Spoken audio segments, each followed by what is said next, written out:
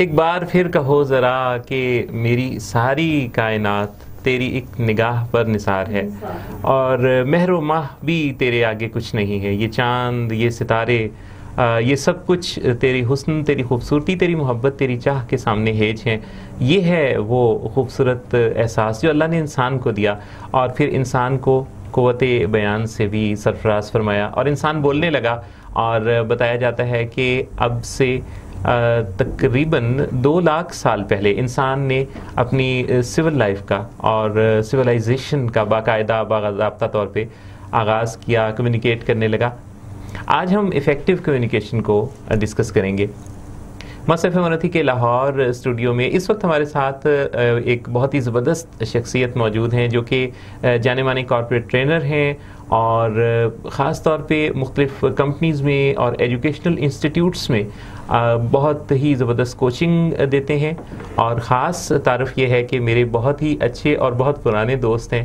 اور ان سے جب بھی ملاقات ہوتی ہے تو ایک فیلنگ کا کنیکشن ان سے ہوتا ہے۔ ان کے لفظوں میں بڑی تاثیر اللہ نے رکھی ہے ان کی بات میں۔ اور ان کے بات کے کمیونیکیٹ کرنے میں میں جن کمیونیکیٹرز سے بہت امپریس ہوں ان میں سے ایک ہیں۔ اور آپ ذرا نوٹس کیجیے گا کہ جب ان سے میں ان کا حال پوچھوں گا۔ تو ان کے حال بتانے کے جواب میں بھی ایک بڑا ہی خوبصورت سٹرونگ میسج ہوگا۔ میرے ساتھ اس وقت موجود ہیں آصف خان۔ السلام علیکم آصف بھائی۔ وعلیکم السلام محسن بھائی۔ کیسے مزاج ہیں آپ کے؟ ایکسلنٹ آؤٹ سٹینڈنگ سپر شکر اللہ کلا محدود سب با کمال بہترین ہے۔ واہ زبردست۔ یہی ہمیں وہ چوکس پن چاہیے تھا۔ بالکل۔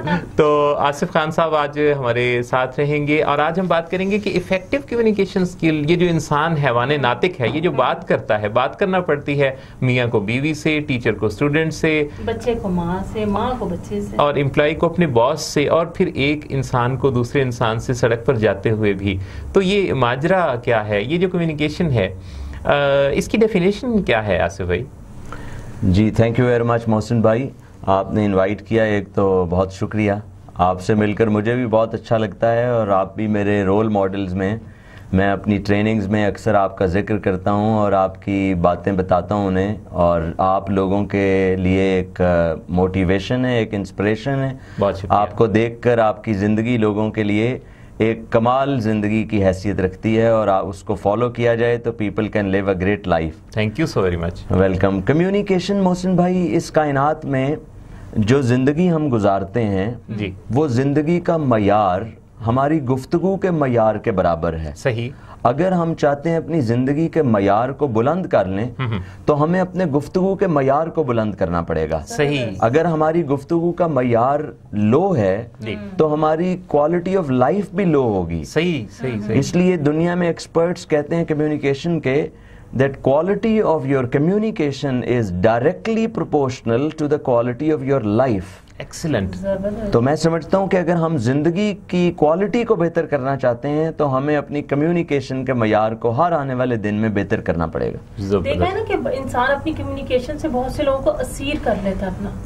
جی۔ کوالٹیز ہوتی ہیں نا یہ گفتگو کا بھی ایک سٹائل ہوتا ہے۔ بہت سارے جو اگر آپ اور آگ پلٹیں انسانی تاریخ کے پاکستان کی ہسٹری کے تو آپ کو ایسے لوگ ملیں گے جن کی کسی ایک سپیچ نے لاکھوں کے مجمع پر سحر تاری کر دیا۔ اور بات ایسی کی کہ لوگ اپنے جذبے کے ساتھ اور اپنے تن من دھن کے ساتھ آگے بڑھے اور کوئی بھی گول اچیو ہوا۔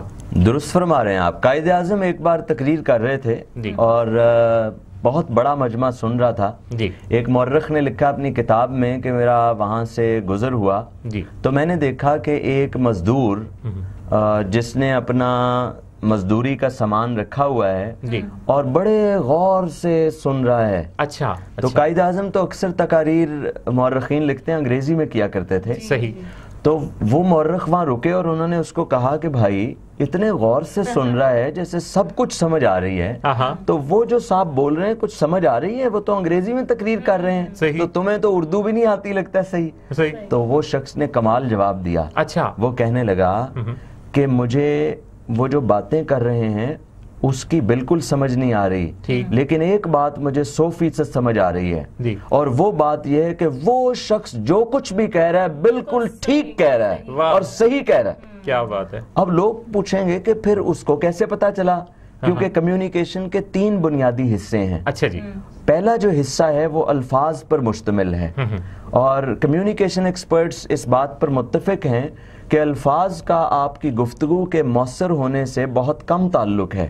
سیون پرسنٹ ہے جی۔ سات فیصد۔ جی، جی۔ باقی جو آپ کی ساری گفتگو ہے یعنی نائنٹی تھری پرسینٹ وہ اس کو سمجھ آ رہی تھی۔ صحیح۔ سات فیصد الفاظ نہیں تھے سمجھ آ رہے۔ صحیح صحیح۔ تو نائنٹی تھری پرسینٹ سمجھ آ رہا تھا۔ اس لیے اس نے کہا وہ جو کہہ رہے ہیں بالکل درست صحیح سچ کہہ رہے ہیں۔ ان کا۔ جو سٹائل ہوگا ان کا جو لہجہ ہوگا اس میں جو چاشنی ہوگی اس میں جو اپنائیت ہوگی وہ اس کو اپیل کر رہی ہوگی۔ بجا فرما رہی ہیں آپ بالکل۔